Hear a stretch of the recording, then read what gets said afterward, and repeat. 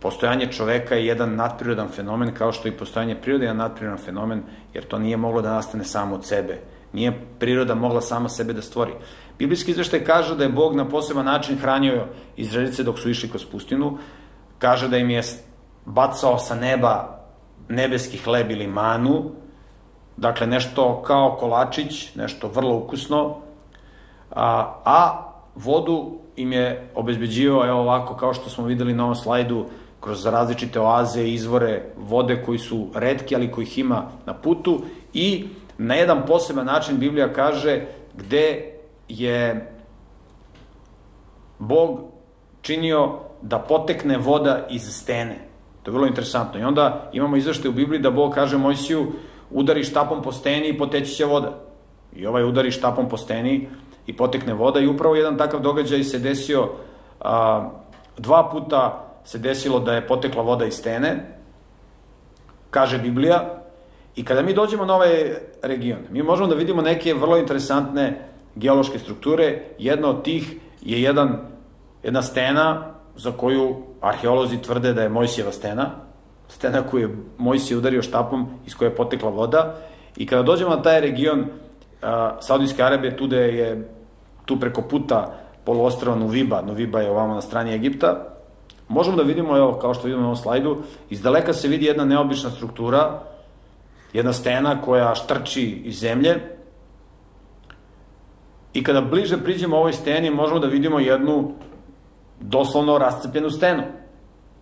Dakle, stena je rascepljena, ona je visoka a, 18 metara. Petospratnica. Kao jedna zgrada od 5 spratova.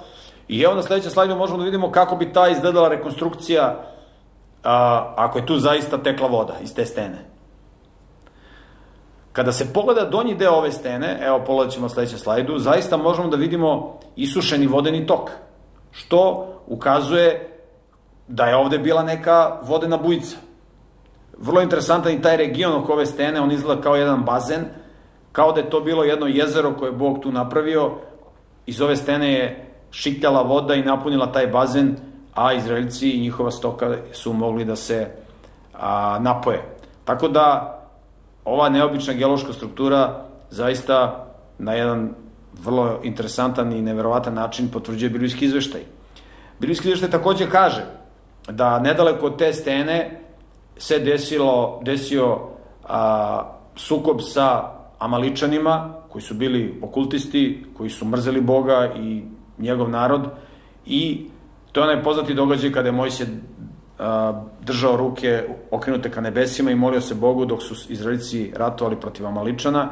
Amaličani su tada bili razbijeni i kao uspojenu na tu veliku pobedu koju je Bog izveo preko jevrijskog naroda, koji nisu bili ratnički orijentisani, koji su bili robovi u Egiptu, ali eto, uz Božju pomoć su pobedili. Mojsije, Biblija kaže, napravio oltar kao uspomenu na ovu pobedu. Biblijski tekst kaže, evo možemo da vidimo sledećem slajdu, i sazida Mojsije oltar gospodu i nazvao ga gospod zastava moja. I kada pogledamo taj region nedaleko od ove rascepljene stene se zaista nalazi jedan, jedan drevni oltar, čime se potvrđuje a, biblijski izveštaj zašto oltar na ovom mestu kad, kad tu niko ne živi. To je vrlo interesantno. Tu niko ne živi i zašto baš eto tu da a, imamo taj oltar, da li je to slučajno, pored ove rascepljene stene, ispod koje se vidi isušeni vodeni tok, imamo i ovaj oltar, baš sve onako kako se poklapa u Bibliji. Ponavljam, ovde niko ne živi u ovom regionu, tu nema stanovnika, to je pustinja vekovima. I sada dolazimo do tog lokaliteta o kojem Biblija govori kao planina Sinaj ili planina Horiv, koristi se jedan i drugi termin. Evo na ovom slajdu možemo da vidimo satelitski snimak Crvenog mora i te planine koju Arapi zovu Džabal el Loz, neki je zovu Džabal Musa ili Mojsijeva planina, muslimani kažu Musa za Mojsija.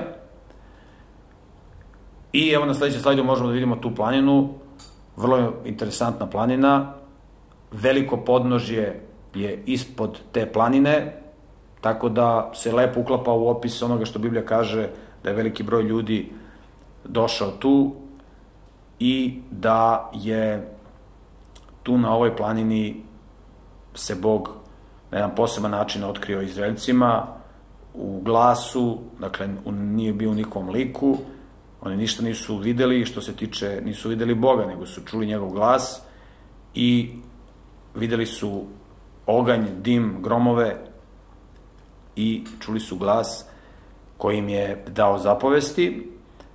U okolini ove planine pronađeni su ostaci mlinskog kamenja. Evo možemo da vidimo sledećem slajdu.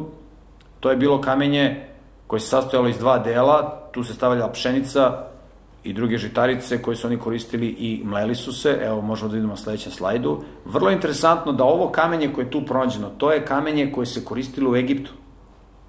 Dakle, ovo su egipatski predmeti. Otkud egipatski predmeti ispod ove planine? Očigledno da su Izraelci, kada su izlazili iz Egipta, poneli sa sobom ove korisne predmete koji su im trebali za život. Takođe, ispod ove planine pronađeno je mnogo kružnih struktura koji neodoljivo podsjećaju na strukture šatora koje su ljudi nekada koristili, evo možemo da vidimo na ovom slajdu. Takvih struktura ima dosta, evo možemo da vidimo i na sledećem slajdu. Takođe, kada čitamo biblijski izveštaj, možemo da vidimo da je Bog rekao da i upozorio narod da niko ne prilazi planini, dakle da svi budu bili odvojeni od planine. Biblijski izveštaj kaže da je Bog a, striktno naredio da se napravi ograda, dakle obeležje oko planine, da svi znaju da ni ljudi ni stoka ne mogu da priđu tu, jer će Bog se spustiti na jedan poseban način na tu planinu i zaista kada dođemo kod ove planine kod te planine Džabal El Loz, odnosno Džabel Musa, kako zovu Arapi, možemo da vidimo tragove ograde koja postoji oko planine i ne samo to, pronađeni su a, kamenovi sa crtežima ljudskog stopala, što ukazuje na jedno obeležavanje da dalje ne treba da se, i da je, da je nadalje zabranjeno da se priđe. Tako da svi ovi argumenti idu u prilog onogome što Biblija kaže. Kada se popnemo na ovu planinu, evo možemo da pogledamo sledeći slajd, možemo da vidimo sa vrha ove planine, možemo da vidimo u podnožju, da vidimo oltar i ostatke oltara koji je tu nekada bio. Znamo da je Mojsije i njegov brat Aron da su prineli žrtve koje je Bog zapovedio da se prinesu koji imaju svoju simboliku, o tome možemo da pričamo iz teološkog aspekta. A, evo možemo da vidimo izbliza kako izgleda taj oltar. Dakle, on je od kamena, Bog je rekao da se, u Bibliji se kaže da se oltar pravi od kamena koji nije tesan. Upravo to ovde pronalazimo. Takođe ovde vidimo da a, u tom drugom delu je deo gde su se prinosile žrtve i tu su istraživači u tom pepelu pronašli ostatke a, životinja, upravo onih životinja koje su se prema Božim instrukcijama mogle prinositi kao žrtve i upravo su pronađeni ostaci tih životinja i samo tih životinja, ne nekih drugih životinja, što je još jedna potvrda da je ovde u pitanju zaista planina Sina ili planina Horiv, koja se danas zove drugačije, ne zove se planina Sina i ne zove se a, planina Horib.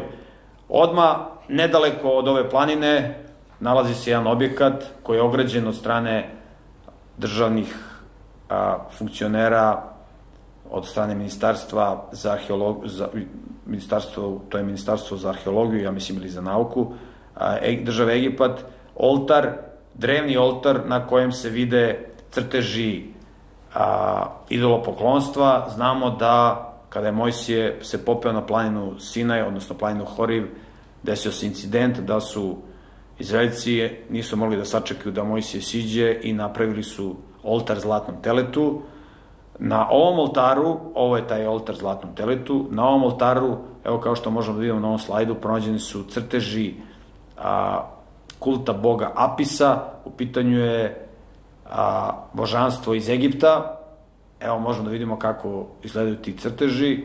Na sledećem slajdu možemo da vidimo te figurice kulta boga Apisa iz Egipta, to su ti crteži.